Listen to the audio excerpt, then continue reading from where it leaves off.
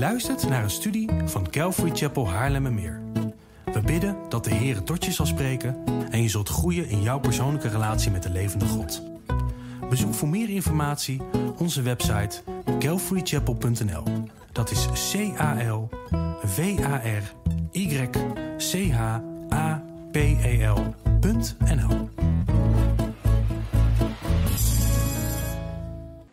Pak je Bijbel er alsjeblieft bij op het Bijbelboek Romeinen.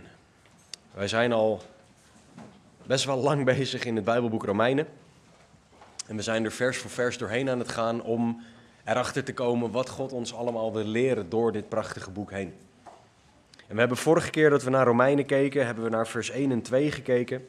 En hebben we gezien dat we ijver kunnen hebben zonder inzicht.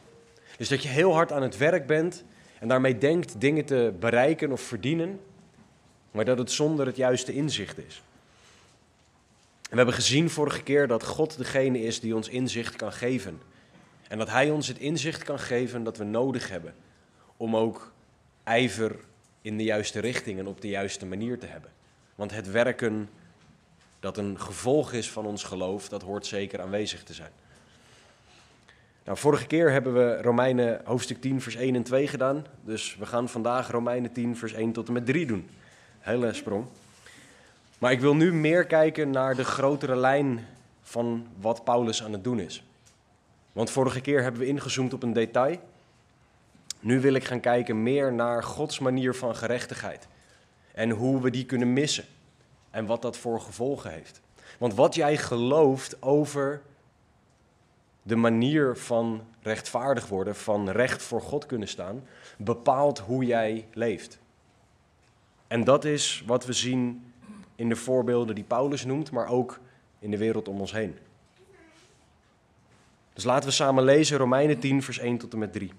Paulus schrijft daar, broeders, de oprechte wens van mijn hart en mijn gebed tot God voor Israël is gericht op hun zaligheid. Want ik getuig van hen dat zij ijver voor God hebben, maar niet met het juiste inzicht. Omdat zij immers de gerechtigheid van God niet kennen en een eigen gerechtigheid tot stand proberen te brengen, hebben zij zich niet aan de gerechtigheid van God onderworpen. Laten we bidden. Heere God, dank u wel voor uw woord. Dank u wel dat uw woord zo ontzettend rijk is. Heren, we bidden en vragen dat u onze harten zal aanraken. Dat u ons zal laten zien wie u bent. Dat u ons zal wijzen op zonde. Dat u ons zal wijzen op uzelf. Spreek alstublieft, laat er niks van mij bij zitten. En heren, we vragen dit uitgenade in Jezus' naam. Amen. Het thema van de Romeinenbrief is rechtvaardiging. En dat is het idee van recht voor God kunnen staan. En vanaf het begin maakt Paulus duidelijk dat recht voor God kunnen staan niet uit eigen kracht is. Hij maakt duidelijk vanaf het begin dat redding door geloof is.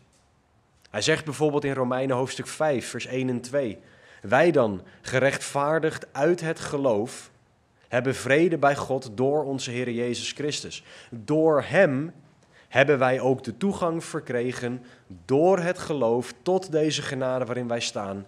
En wij roemen in de hoop op de heerlijkheid van God. Wat Paulus ons laat zien door deze brief heen, is dat Gods manier van rechtvaardig worden altijd al uit geloof was. Want onze werken zijn nooit goed genoeg. En Paulus bevestigt dat door bijvoorbeeld te verwijzen naar het voorbeeld van Abraham. Wat Paulus ontzettend mooi doet door de hele Romeinenbrief heen, dat is een heel mooi stukje huiswerk, is om te gaan kijken naar alle oud-testamentische referenties die hij maakt. Want wat Paulus daar doet, is hij onderbouwt ons christelijk geloof op basis van het Oude Testament. Het is dus niet een nieuw verzinsel. Het is dus niet een, een evolutie of zo van het Jodendom. Het is iets wat al aangegeven was door God. En vanaf het begin in Romeinen 1, vers 16 geeft Paulus aan dat het het evangelie is voor Jood en voor Heiden. Dat ze het allebei nodig hebben. Maar zoals gezegd, het evangelie, Gods goede nieuws, Gods goede boodschap, vraagt iets heel anders dan dat wij vanuit onszelf denken en willen. Want wij willen zelf dingen verdienen en wij willen goed genoeg zijn. En vanaf het begin geeft Paulus aan dat God ons laat zien dat redding uit overgave is. Uit geloof, uit genade. Niet uit eigen werken, niet uit eigen creativiteit, niet uit maar hard genoeg het willen. Maar wat Paulus ook laat zien, is nogmaals dat wat jij gelooft over rechtvaardig worden, bepaalt hoe jij leeft. Want als jij gelooft dat jij het zelf moet verdienen, wat ga je dan doen? Harder werken. En nog harder werken. En als je op je plaat gaat, dan moet je nog harder gaan werken. En nog beter je best doen. Als jij gelooft dat er niks is, dan zal je ook niks doen. Als jij gelooft dat er geen God is en geen rechtvaardiging nodig is, dan ga je je daar ook niet mee bezighouden. Maar als jij, als u en ik inzien dat rechtvaardiging uit geloof is en dat we daarnaar gaan leren leven, zullen we dus ook uit geloof gaan leven in de plaats van terugvallen op eigen kunnen. En in vers 1 van Romeinen 10 laat Paulus zien dat hij weet dat Israël Gods manier van gerechtigheid nodig heeft. Hij zegt, broeders, de oprechte wens van mijn hart en mijn gebed voor Israël is gericht op hun zaligheid. Hij wil dat ze gered worden. Hij wilde dat heel Israël gered zou zijn. En daar bad hij voor. Tot op de dag van vandaag mogen wij bidden voor de Joden en voor de heidenen. Voor een ieder die nog moet gaan geloven, want een ieder heeft Jezus nodig. En Paulus laat ook gelijk zien dat hij hier niet heel hard voor moet gaan knokken en hij overtuigend moet zijn. Nee, mijn hart en mijn gebed tot God. Hij weet dat God het werk moet doen en dat God hem kan leiden om gebruikt te worden in dit nobele doel. Paulus weet dat God zichzelf aan Israël moet openbaren. Dat ze moeten, dat ze moeten zien dat Jezus de Messias is.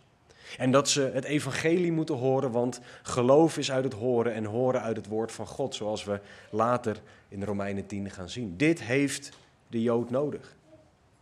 Er moet dus een wonder gebeuren, want God moet mensen tot zichzelf trekken, zoals we ook lezen in Johannes 6, 44. En Jood en Heiden hebben dit nodig, hebben Jezus nodig, hebben het evangelie nodig en hebben het nodig om te leven vanuit geloof in de plaats van eigen ijver. En dat is wat Paulus in vers 2 ook zegt. Ik getuig van hen dat zij ijver voor God hebben, maar niet met het juiste inzicht. De Joden dachten redding te kunnen verdienen door maar hard te werken en door maar zo goed mogelijk te zijn.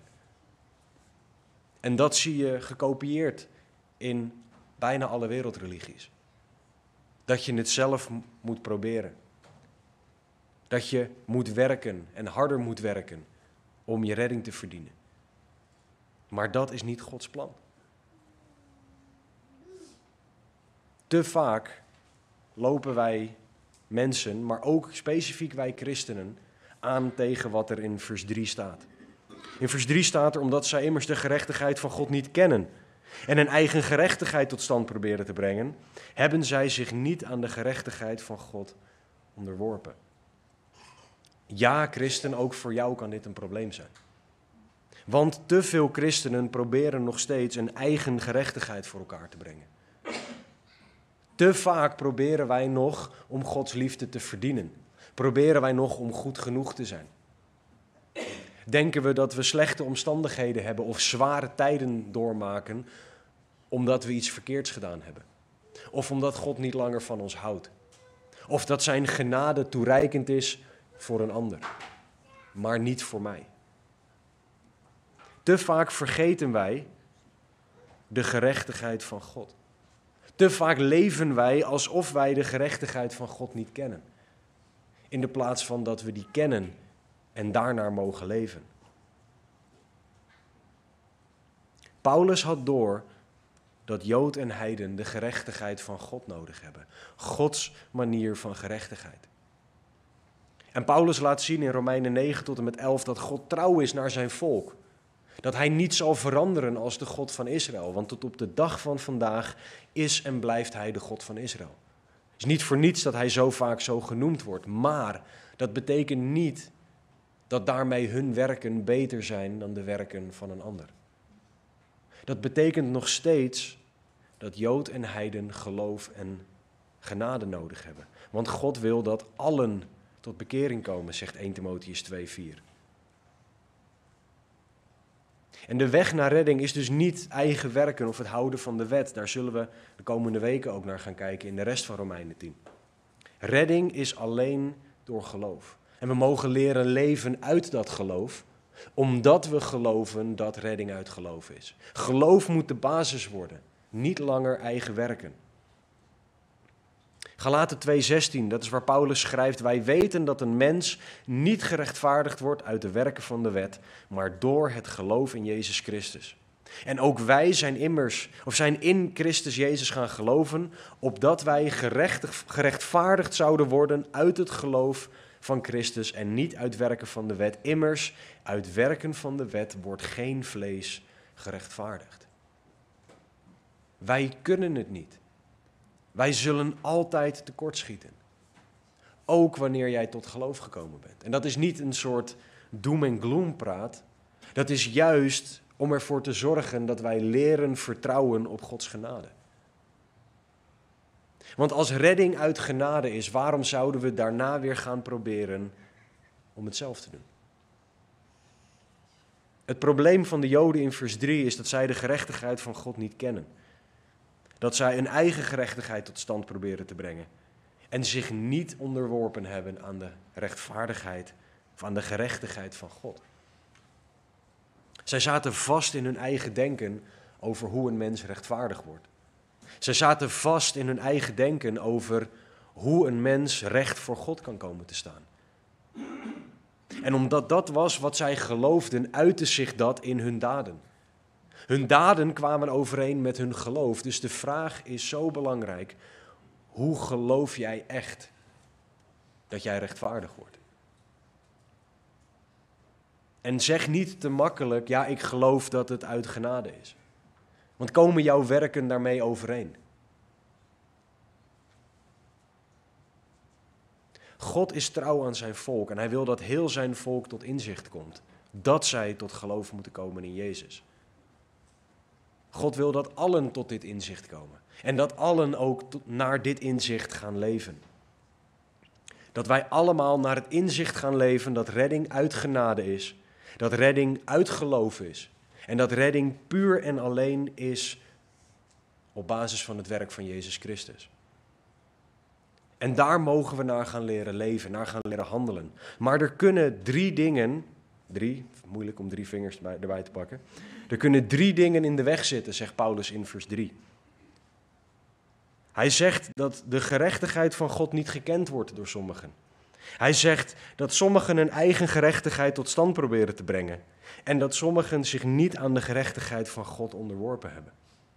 Dit is wat de mens in de weg zit om gered te worden. Maar dit is ook wat ons christenen in de weg kan zitten om te leven naar de redding die wij hebben. Want Gods hart is dat Jood en Heiden tot bekering komen. Dat Jood en Heiden gaan geloven in Jezus Christus. En dat wij gaan leren leven op basis van afhankelijk geloof en niet op basis van eigen kunnen.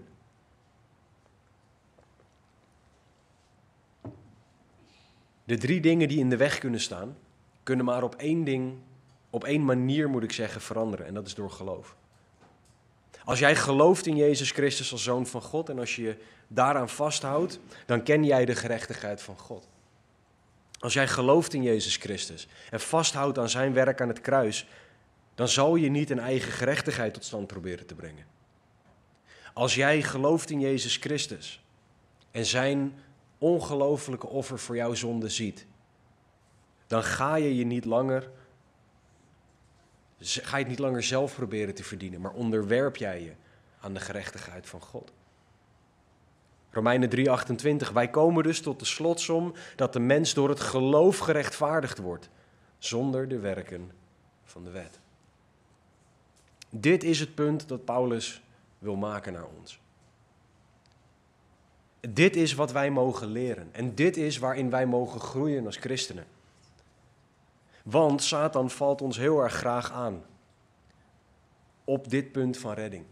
Op dit punt van hoe kom je tot redding. Want hij weet dat als wij iets anders gaan geloven over onze redding, dat we ook anders zullen gaan handelen.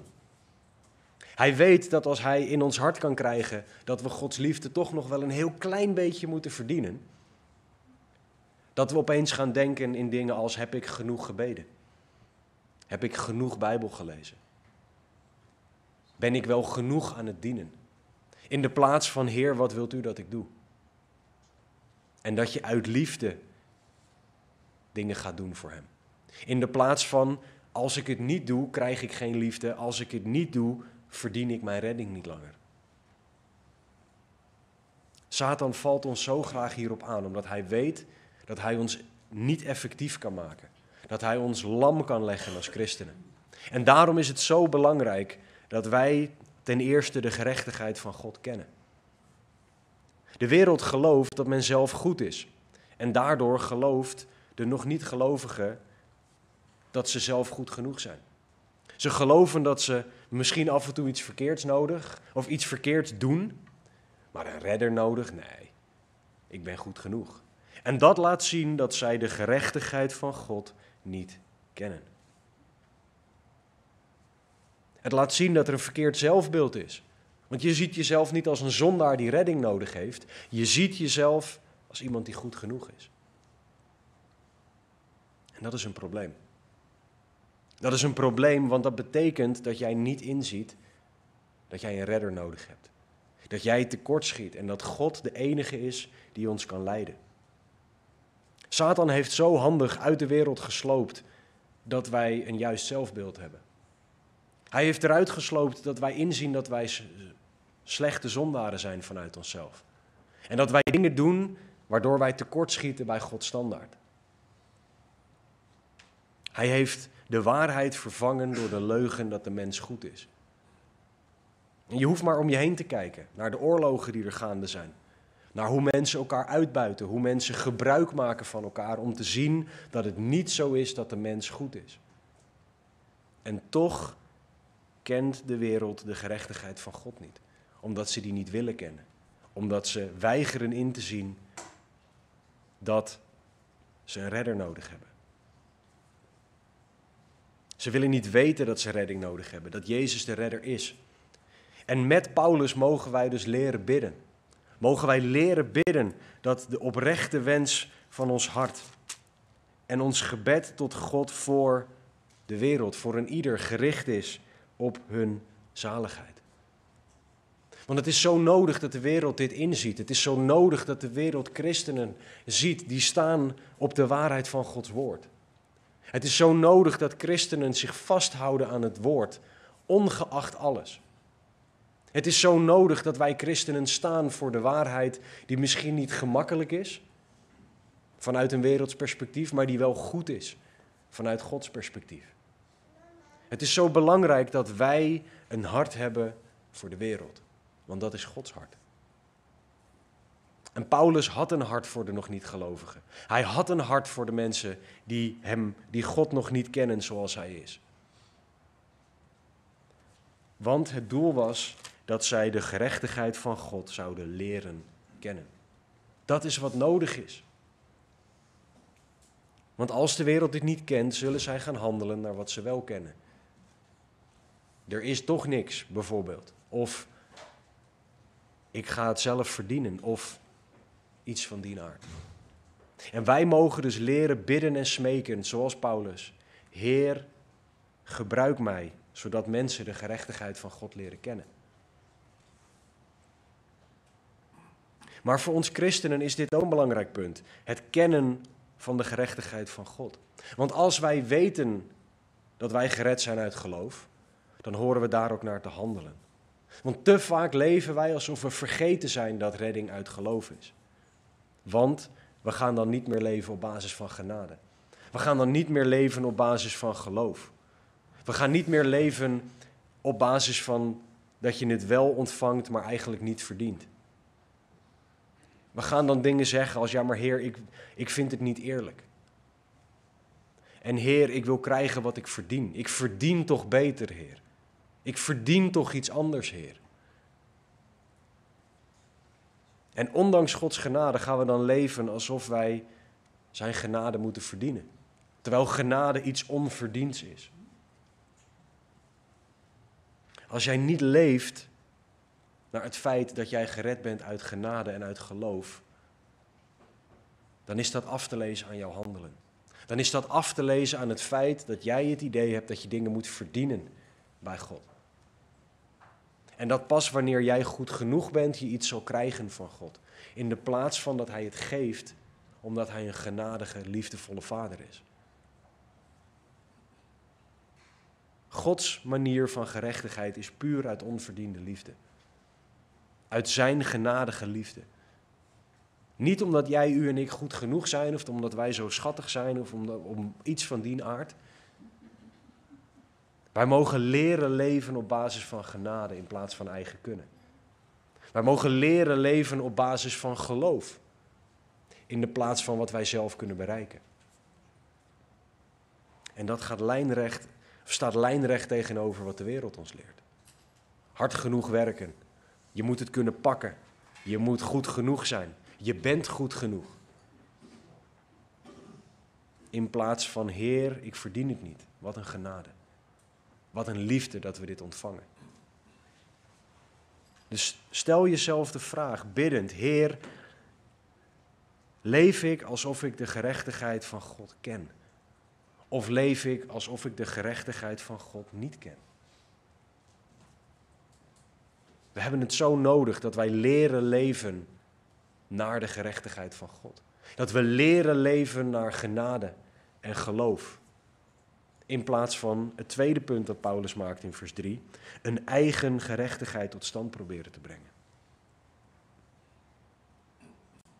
In de wereld zegt men dat je een goed mens moet zijn, of dat je al een goed mens bent, of dat je een willekeurige religie aan kan hangen, hè, want alle wegen leiden naar Rome. Dat je lief moet zijn voor elkaar, dat je goed moet doen, voor het milieu moet zorgen en allemaal andere dingen. En dat je dan goed genoeg bent. En als er een hemel is, dan ga jij wel naar die hemel, want jij bent goed genoeg. Maar dit is een eigen standaard. Dit is een zelfbedachte standaard. En ik weet niet hoe het met jullie zit, maar als ik een standaard voor mezelf bedenk, dan leg ik hem altijd precies daar waar ik hem kan halen. Want dan ben ik goed genoeg. En dan kan ik hard genoeg werken om dat te bereiken. Dan kan ik investeren om dat te doen. In de plaats van dat ik God standaard zie. Wees heilig, want ik ben heilig. En heilig is perfectie, waarmee wij, tenzij je echt heel erg een verkeerd beeld van jezelf hebt, we allemaal wel echt moeten toegeven dat we niet perfect zijn. En zelfs als jij denkt dat je perfect bent, heb je daarmee al bevestigd dat je niet perfect bent, want jij bent God niet. Als wij een eigen gerechtigheid tot stand gaan proberen te brengen, komt het neer op hard werken. Zoals Dwayne The Rock Johnson zei, be the hardest worker in the room. Je moet het hardste werken in de ruimte en dan zal je dingen verdienen. Bij God werkt het niet zo. Onze eigen standaarden zijn dat je maar genoeg geld moet uitgeven. Of dat je niks moet doen, want er is toch niks. Of dat je een andere God gaat aanhangen. Om maar die eigen gerechtigheid tot stand te brengen. Maar dat is niet zoals God het wil. Wij moeten inzien dat wij tekortschieten ten opzichte van Gods standaard en dat we zijn genade nodig hebben.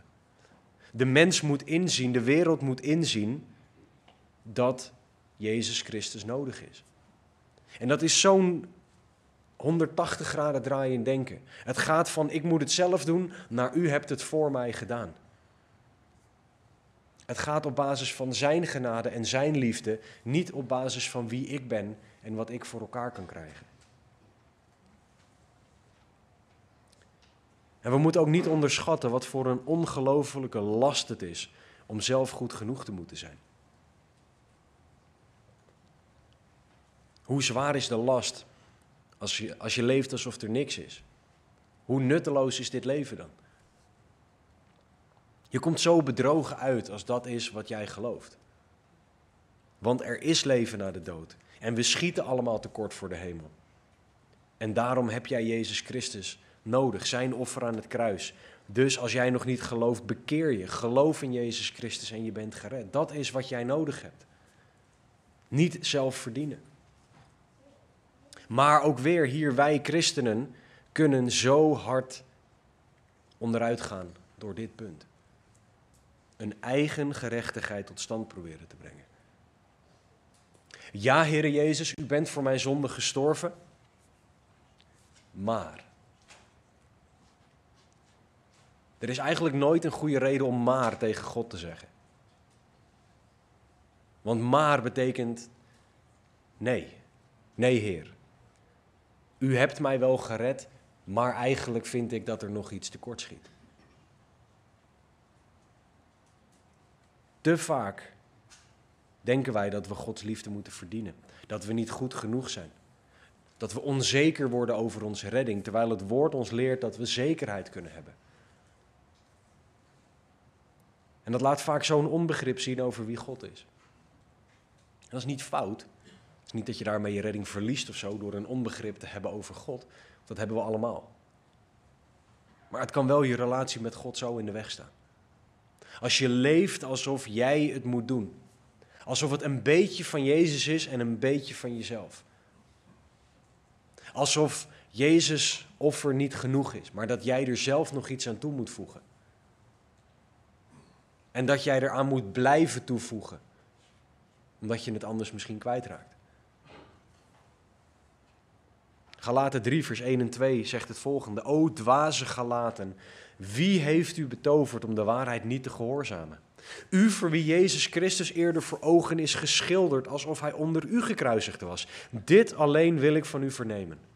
Hebt u de geest ontvangen uit de werken van de wet of uit de prediking van het geloof? Bent u zo dwaas, u die met de geest begonnen bent, gaat u nu eindigen met het vlees? Dit is niks nieuws om deze verleiding, deze worsteling te hebben. Maar dit is wel een probleem. Want zo vaak vallen wij terug op wat ik kan.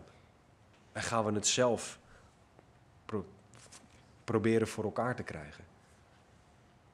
Bijbelcommentator David Guzik heeft gezegd: Onder de wet zijn we gezegend en groeien we geestelijk door dingen te verdienen en waardig te zijn. Onder genaden worden wij gezegend en groeien we geestelijk door te geloven en te ontvangen. God gaat met ons om op basis van het verbond van genade. We moeten niet reageren op basis van principes van de wet. Einde citaat. En de wet is waardevol, hè, voor de duidelijkheid. Ik wil hiermee niet zeggen, oh, die wet was slecht. Als ik dat zou zeggen, zou ik ingaan tegen het woord van God. Het einddoel van de wet is Christus, gaan we niet voor niets volgende week bestuderen. Maar onder de wet draait het om wat ik kan. Onder genade draait het erom wat Jezus kan. Wij mogen leren om terug te vallen op Gods liefde. In de plaats van Gods liefde willen verdienen.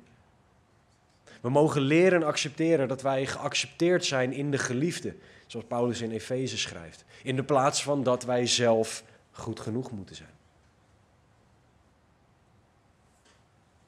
Er is volledige acceptatie van jou, van u, van mij bij het kruis. Er is niet 99,9% acceptatie. Er is niet 50% of 40% of als je maar hard genoeg werkt, acceptatie. Door geloof in Jezus Christus is er 100% acceptatie. En dat is niet nogmaals om wie jij bent, wie u bent of wie ik ben. Maar dat is omdat Jezus toereikend is. En laten we eerlijk zijn, als we onze eigen gerechtigheid tot stand moeten brengen, als we dingen weer zelf moeten gaan verdienen, hoe frustrerend is dat? Zeker als de lat op perfectie ligt. Hoe frustrerend is het om te proberen perfect te zijn? Hoe frustrerend en vermoeiend is het om te proberen altijd maar goed genoeg te zijn? Want wij falen en wij schieten tekort.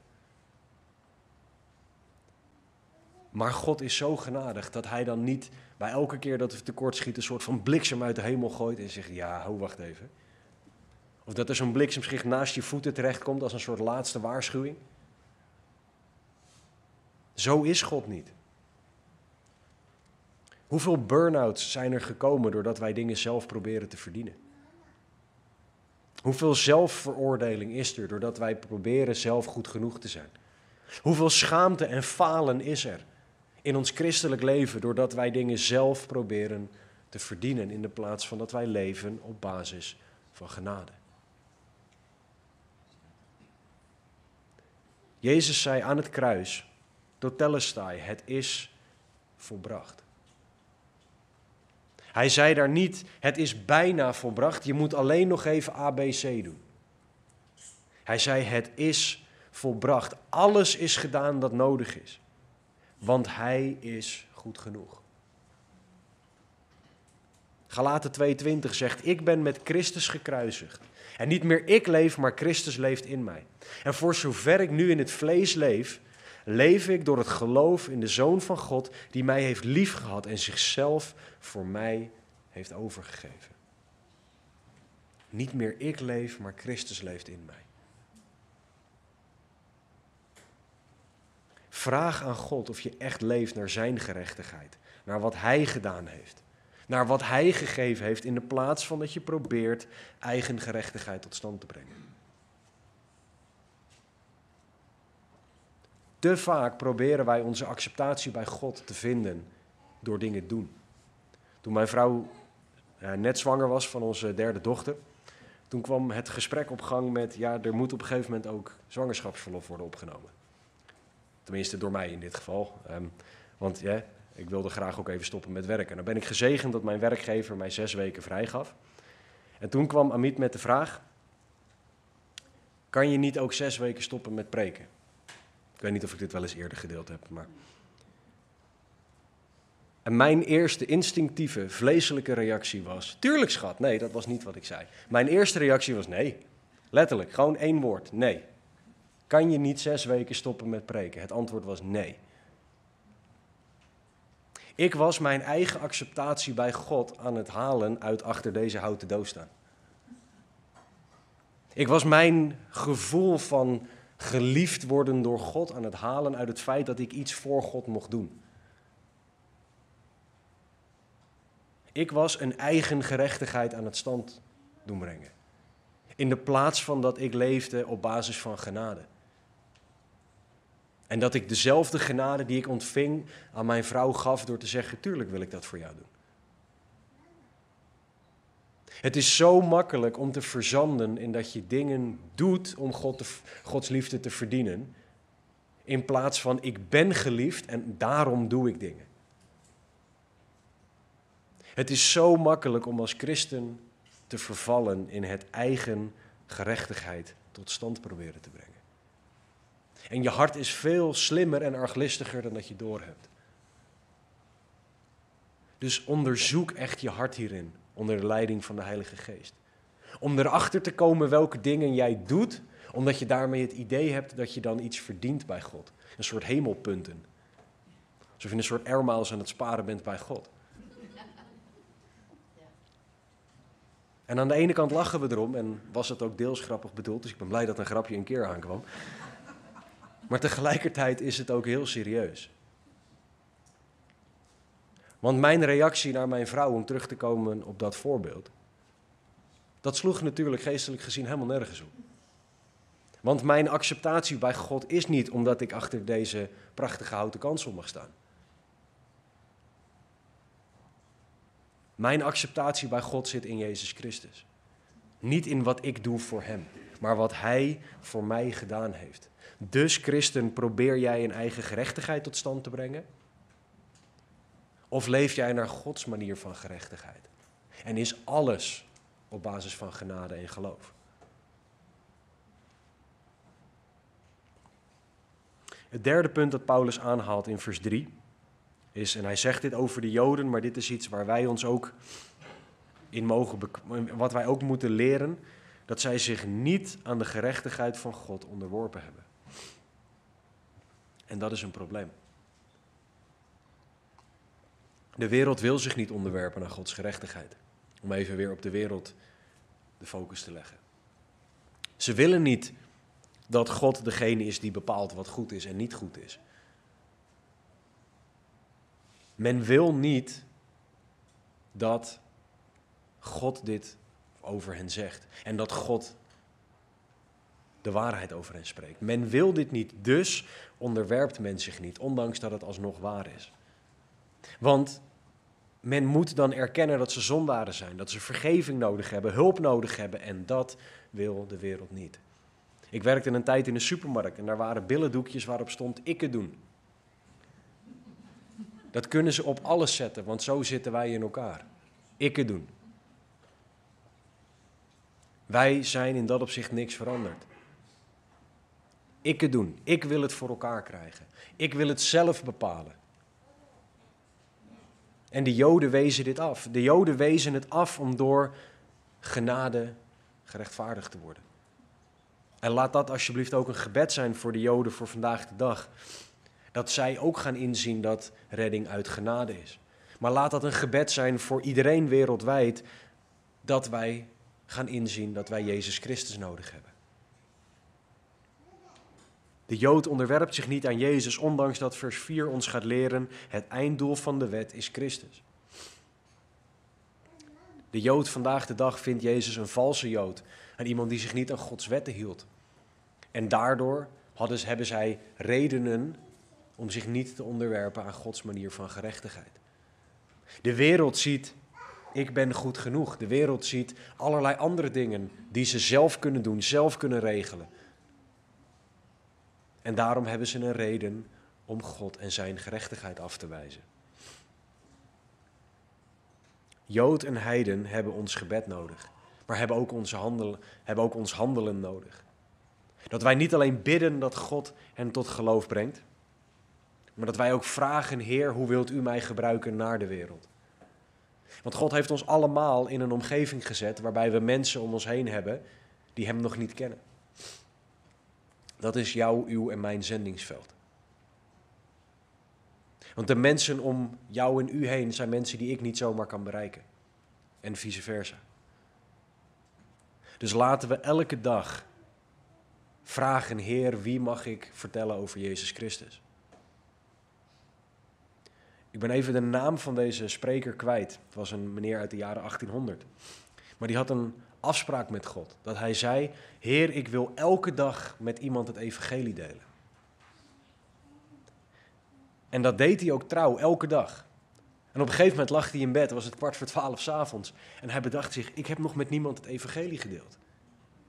En in de plaats van zich omdraaien, sprong deze man uit bed, trok zijn kleren aan, ging de straat op en zocht naar iemand met wie hij het evangelie mocht delen.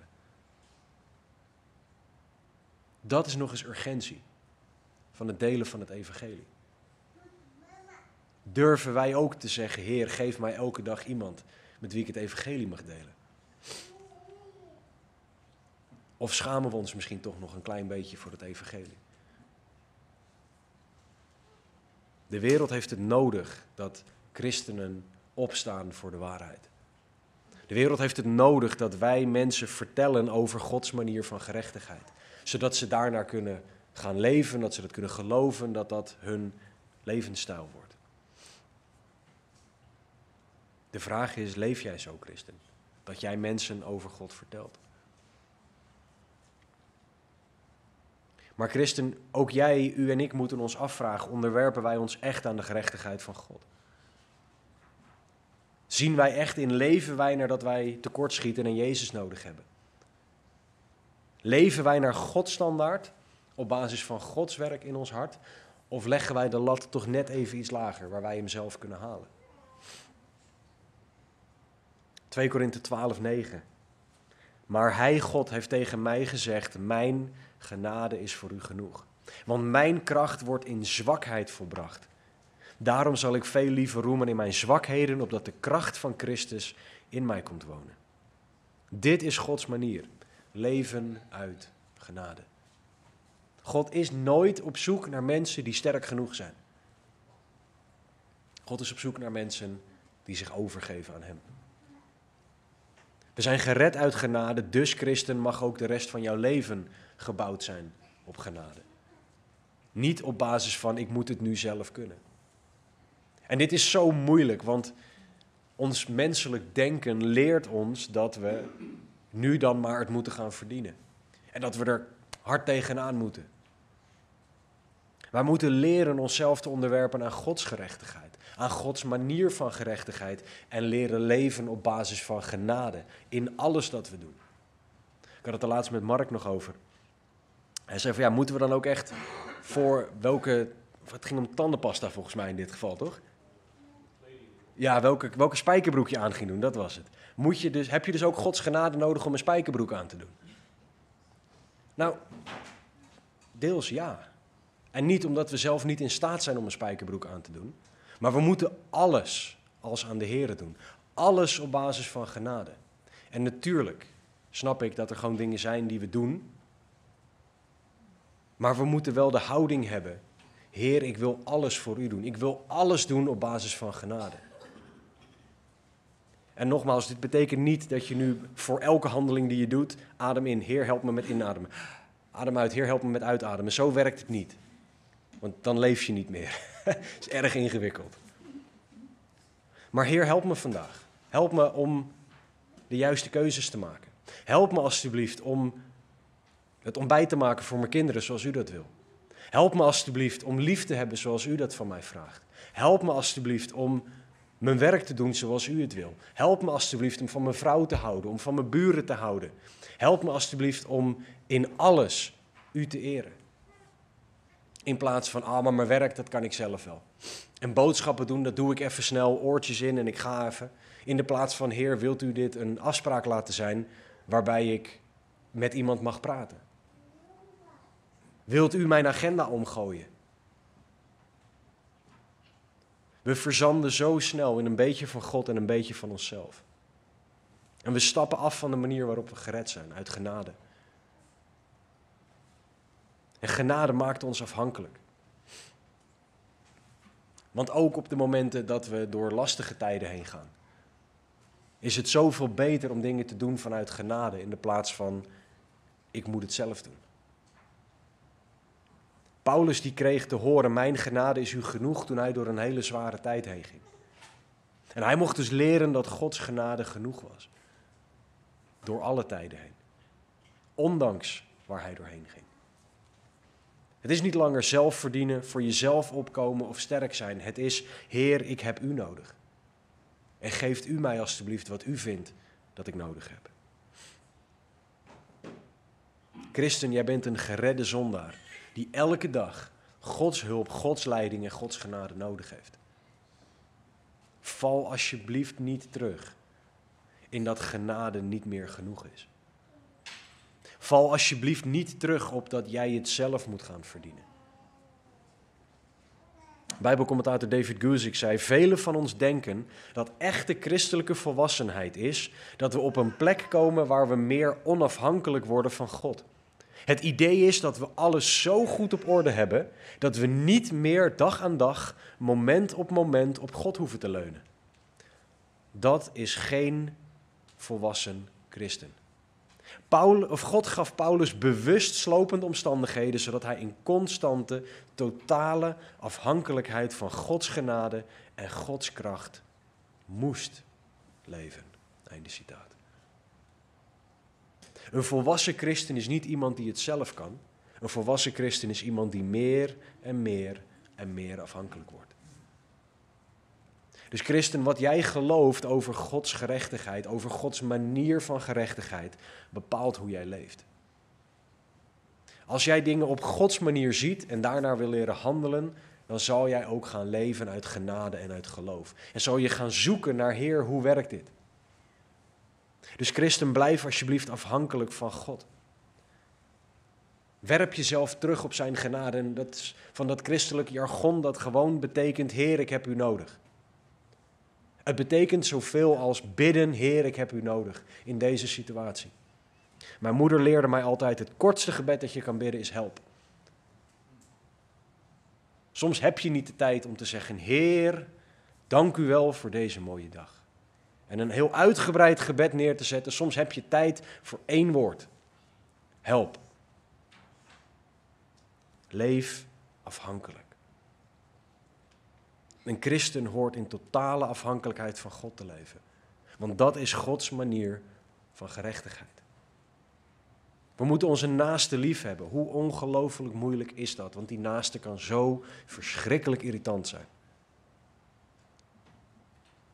Maar toch is dit Gods opdracht aan ons in Matthäus 22. We hebben hier Gods genade en Gods liefde in nodig. Want dan denken we niet meer, die persoon is irritant. Dan denken we, Heer, u hebt mij lief, dus daarom wil ik die persoon lief hebben. God wil dat we getuigen, zoals hij in Matthäus 28, 19 zegt. Maar dat kan zo eng zijn. Als we op basis van Gods genade gaan leven en uit geloof, dan wil God jou leiden en de kracht geven om dit te doen en naar wie je dit moet doen. Je man of je vrouw liefhebben. Het opvoeden van kinderen, je werk, een bediening, door lastige tijden heen gaan. Omgaan met je werk, omgaan met collega's, met familie en et cetera. Allemaal dingen die wij niet op Gods manier kunnen, tenzij we uit genade leven. Tenzij wij Gods manier van gerechtigheid als standaard nemen. Gods gerechtigheid en Gods manier van gerechtigheid hoort te bepalen hoe wij leven. En als wij overtuigd zijn door Zijn gerechtigheid en door Zijn manier van gerechtigheid, hoort ook Zijn manier van rechtvaardig worden ons leven te leiden.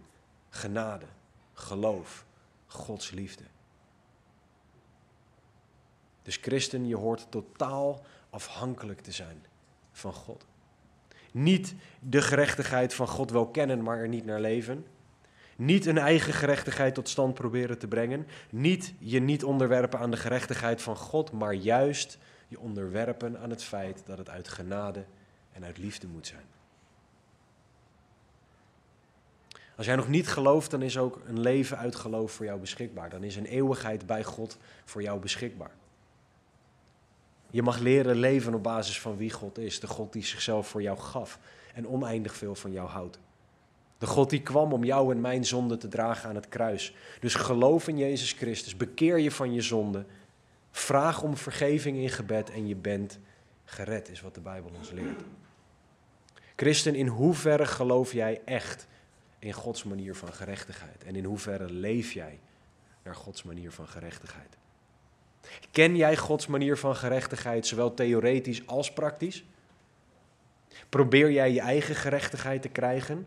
Of vind jij rust in Gods accepterende liefde en genade? En christen, onderwerp jij je aan Gods genade en aan Gods manier van gerechtigheid? Of probeer je het toch nog zelf? Laten we bidden.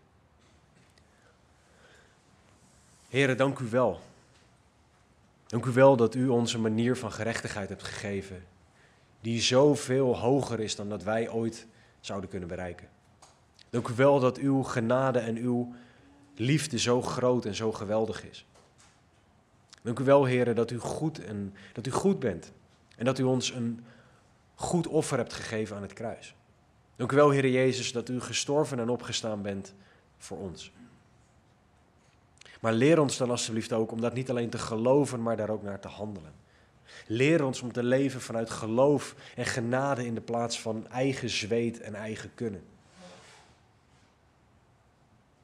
Leer ons om terug te vallen op uw genade in alles, ondanks alles. Leer ons alstublieft om te vertrouwen op u. Heren, te vertrouwen op u in alles, ondanks alles, omdat u God bent. Heren, laat ons alstublieft op dit moment zien waar wij niet langer leven vanuit genade en geloof. Waar wij uw manier van gerechtigheid niet helemaal accepteren. Heer, als er hier mensen zijn die u nog niet kennen, breng ze tot geloof. Heren, breng ons terug bij uw genade en bij uw liefde. Bij het feit dat we mogen leven uit geloof en niet op basis van wat wij kunnen. Heren, u bent zo goed. Wat een genade is het dat we u mogen kennen. Wat een liefde.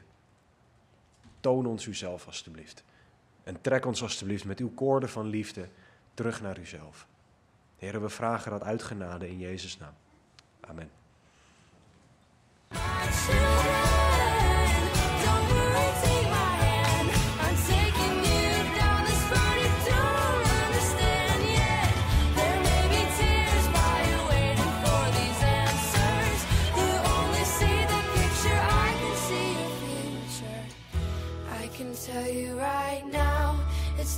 be alright.